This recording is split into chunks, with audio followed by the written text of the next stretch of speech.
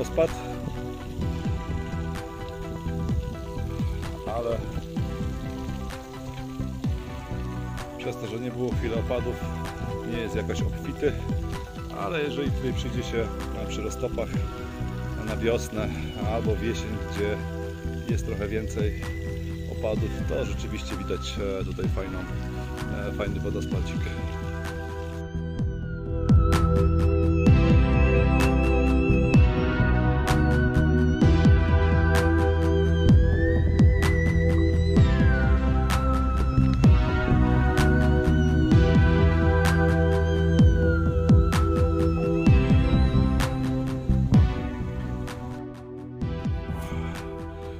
Chłopakom z Pink Bike'a i z GMBN skończyły się pomysły na trasy, niech wpadną tutaj i zrobią Impossible Climb, bo jest kawał.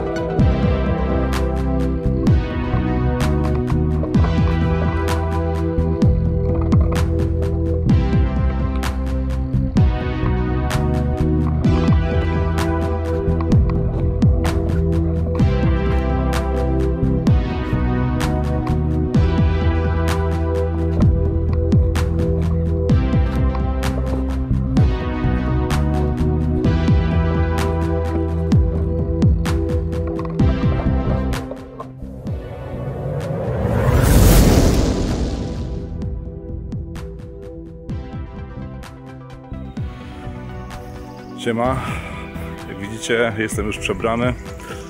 Szukałem jakiegoś spokojnego miejsca w lesie, żeby można było e, kilka słów powiedzieć, e, bo tam na parkingu strasznie wiało już na końcu, e, na otwartym polu. Co, co mogę powiedzieć o dzisiejszej jeździe? Było naprawdę bardzo fajnie. Nie spodziewałem się, że, że Bark da mi pojeździć może nie w miarę normalnie, bo jeszcze nie czułem się jakoś tak perfekcyjnie dobrze, E, bałem się puścić hebli i po prostu e, jechać w dół, e, ale udało mi się zjechać i objechać wszystko to, co chciałem. Wjechać na Magurę, potem przejechać sobie jeszcze zjazd tą ścieżką dnia pierwszego, a, a, a na końcu jeszcze wrócić sobie na wodospad i na Diabli Kamień i tam czarnym szlakiem zjechać w dół. To już taka siepanina była troszkę. Tutaj się najbardziej, najbardziej bałem, obawiałem, ale wyszło całkiem nieźle. Mm, ogólnie park e, nie pokazywał, że, że powinienem jakoś tam się oszczędzać albo zwolnić. Ogólnie nic mnie nie bolało, więc to jest o tyle dobrze i o tyle fajnie. E, ale jeszcze jednak e, po konsultacji z lekarzem stwierdziłem, że nie będę jakoś tak strasznie się przeciążał. Dam sobie jeszcze chwilę czasu, żeby, żeby to się jednak zrehabilitowało lekkie ćwiczenia, e, jakieś tam jazdy na rowerze, tak jak widzieliście, e, na pewno będą się pojawiały.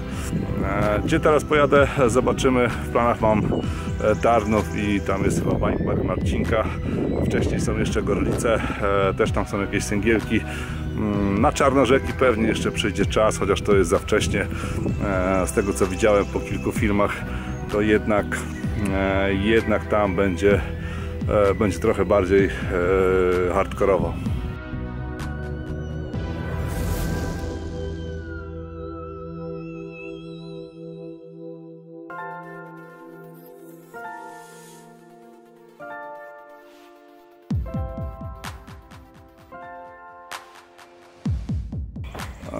Co jeszcze? E, przede wszystkim e, bardzo zadowolony jestem z samego rowera. Dzisiaj pierwszy raz tak naprawdę poczułem różnicę między tym moim hardtailem e, starym, a wysłużonym, a, a, a tym Oizem, którego kupiłem. Nie spodziewałem się, że różnica będzie tak znacząca i tutaj nie chodzi o sam zjazd, ale przede wszystkim o podjazd. E, tamtym razem e, w ubiegłym roku albo, albo dwa lata temu, kiedy ostatni raz jechałem tą trasę jeszcze na, e, na tym hardtailu, to naprawdę sama, sama jazda do góry była ciężka. Bardzo często stawałem i tutaj nie chodzi o to, że kondycję mam jakąś inną, bo jakoś więcej nie ćwiczyłem. Fakt, byłem w tej Hiszpanii, ale to tutaj jedną Hiszpanią raczej kondycji zrobić nie można. E, natomiast e, poczułem od razu różnicę, jeżeli chodzi o geometrię ramy. E, to jest coś, co, co przede wszystkim pewnie można zauważyć e, kupując taki, taki rower jednak ten OIS e, bardzo fajnie i bardzo dobrze potrafi się wspinać i tutaj była zasadnicza różnica. E, z jazdy oczywiście to jest jednak full, to tutaj było e, również czuć, no ale to tego się spodziewałem, natomiast nie spodziewałem się, że tak dobrze będzie na, na podjazdach. Mm, więc tak jak mówię, kupno takiego rowera jest na pewno daje poczuć zmianę. E, to po pierwsze, e, a po drugie, no trzeba go sobie jednak dobrze dobrać. Ja kupując, e, planując w zasadzie kupno roweru, rozważałem XL-kę, no bo akurat mam wzrost 186, to jest tak na pograniczu L i XL, ale tutaj z pomocą przyszli mi chłopaki z Bike and Chill i jednak doradzili mi tą L i w sumie to jest dobry wybór jak dla mnie. E, geometria, e, wysokość roweru e, jest naprawdę może nie idealnie, ale wydaje mi się, że idealnie dobrana pod mój wzrost. I, I, bardzo się cieszę, że posłuchałem chłopaków, a nie poszedłem za własnym głosem i nie wziąłem XL-ki, bo to byłoby chyba jednak za dużo. Tutaj gdzie niegdzie na zjazdach czułem, że, że rama jest dobrze jakby dopasowana Jedyne co to dropper, który kupiłem, to jest chyba 15 cm. Wydaje mi się, że e, jakby miał większy, tam chyba chłopaki mi też proponowali 17 cm. Byłoby trochę lepiej, po tą, e, tą część, która e, która się, e, do której siodełko schodzi, można byłoby opuścić jeszcze niżej i to na pewno na zjazdach dawałoby lepsze, lepsze efekty, można byłoby rower gdzieś tam głębiej chować pod siebie, ale poza tym jest, jest bardzo fajnie. Jeżeli mi się uda jeszcze dzisiaj, to nagram coś tam o, o samym rowerku.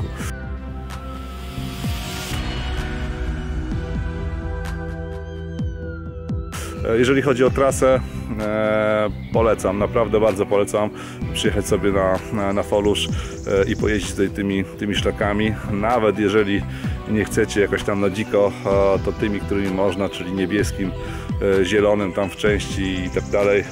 E, Jest naprawdę, e, naprawdę fajnie. Jeżeli ktoś lubi jakieś takie, e, takie wycieczki e, trailowe, e, po, po szlakach, e, gdzie chodzą też wprawdzie ludzie, ale można jeździć na rowerkach, no to to jest bardzo e, fajny i rozsądny wybór. E, Ten wstęp 7 zł, on jest pobierany bodajże od maja do, do końca września, albo tam gdzieś tam do października, E, ale też myślę, że to nie jest jakoś tam dużo e, zapłacić można, E, to przecież nie jest jakaś fortuna, e, a, a z tego utrzymywany jest park, z tego utrzymywane są szlaki. E, Co jeszcze? Tak, po takim pierwszej jakiejś e, poważniejszej jeździe, e, to na pewno muszę sobie przypomnieć to, o czym mówili mi chłopaki, w jaki sposób steruje się tym zawieszeniem. Nie chodzi tutaj o przełączanie manetki, żeby było utwardzone lub, lub żeby, żeby działało. Bardziej chodzi o to, w jaki sposób, kiedy i jak spuszczać powietrze, dobijać to powietrze, ustawiać te pokrętła i tak dalej. Myślę, że to może się, e, może się przydać.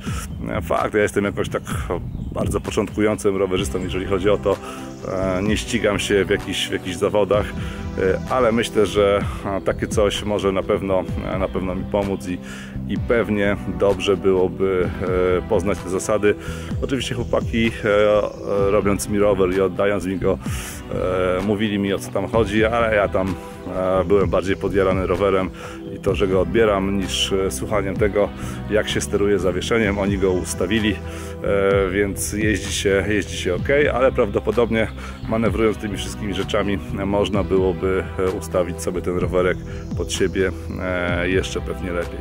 Więc to mnie czeka i, pewnie przy najbliższej okazji będę, będę z nimi o tym rozmawiał. Natomiast pierwsze jeszcze co, co zrobię i co na pewno e, czeka mnie i co czeka chłopaków z Bike and Chill, e, to to, że e, mam u nich umówiony bike fitting, czyli będę ustawiał rower jakby i pozycję na rowerze do tego, żeby to było jak najbardziej optymalne. Tutaj warto wspomnieć, że chłopaki przy każdym rowerze Orbei e, bike fitting dodają e, w gratisie, e, stąd też ja mam tą, e, tą usługę E, i e, myślę, że to jest bardzo fajna i ciekawa opcja. E, Pozwoli mi e, pewnie jeszcze lepiej poczuć się na rowerze, chociaż tak jak mówię, e, byłem bardzo, bardzo zaskoczony.